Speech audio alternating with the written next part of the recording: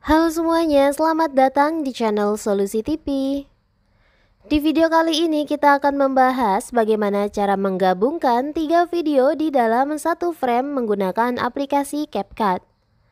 Sebelum lanjut ke videonya, jangan lupa di subscribe dan juga nyalakan tombol lonceng notifikasi agar kalian tidak tertinggal oleh video-video terupdate dari Solusi TV. Oke deh, kalau gitu kita langsung aja ke videonya.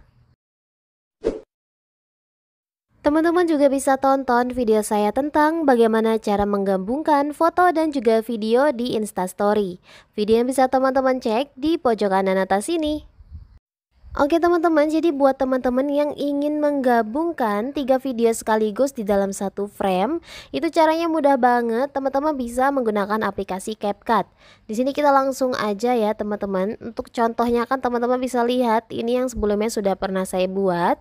Jadi ini tiga video sekaligus di dalam satu frame. Nah, bagaimana cara membuatnya? Kita langsung aja buat new project.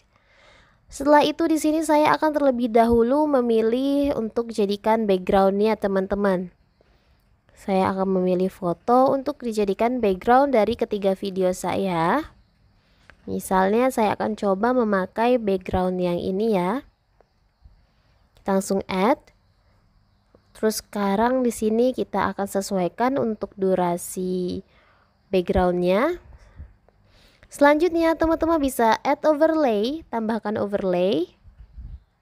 Lalu kita pilih video yang ingin kita masukkan, yang ingin kita gabungkan. Misalnya di sini saya akan menggunakan video yang ini.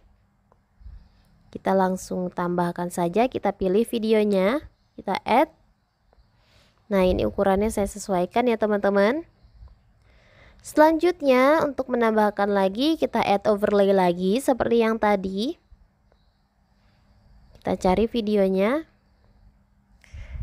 Kita bisa sesuaikan lagi untuk ukuran videonya.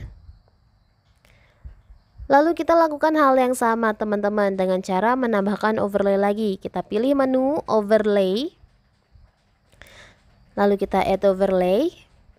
Kita pilih video yang terakhir untuk kita tambahkan. Nah, ini dia teman-teman.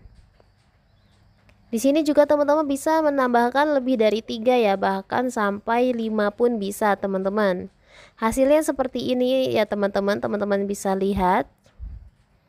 Dia tiga video di dalam satu frame sekaligus. Nah, seperti ini teman-teman hasilnya. Jadi menarik banget bukan teman-teman? Caranya mudah banget.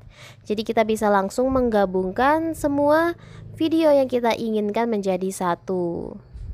Nah, ini contoh yang sebelumnya saya buat. Videonya lanjut bisa teman-teman save, lalu teman-teman share ke aplikasi seperti WhatsApp, Instagram, dan juga yang lainnya.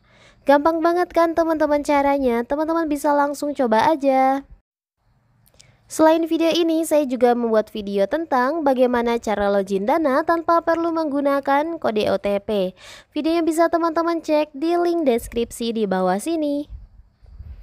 Jangan lupa like dan subscribe untuk terus dukung channel Solusi TV agar bisa terus berkembang dan memberikan solusi-solusi menarik lainnya.